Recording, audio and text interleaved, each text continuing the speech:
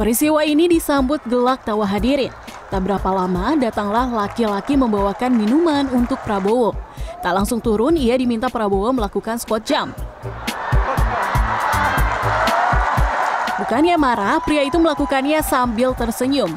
Setelah melakukan squat jump empat kali, Prabowo memintanya meninggalkan panggung. Kejadian ini kembali mengundang gelak tawa hadirin. Prabowo menghadiri acara reuni dan halal lebih halal Purnawirawan TNI dan Polri dalam kapasitasnya sebagai Ketua Dewan Pembina Purnawirawan Pejuang Indonesia Raya. Tim Liputan CNN Indonesia.